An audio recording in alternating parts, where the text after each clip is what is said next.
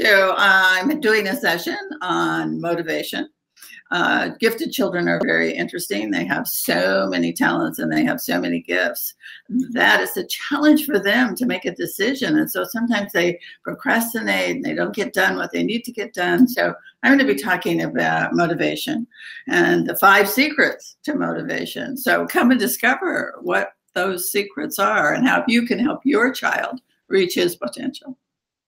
So one of the challenges of education, I think at the present point in time is, is that while children enter kindergarten and they're so excited to be there, and then within a few years, by the time they're sophomores in high school, only 10% of the population of children want to go to school.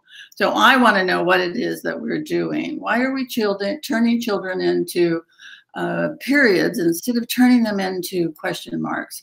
Let's find a way to ask questions that engage them, entice them, and want to help solve the problems that the world currently faces.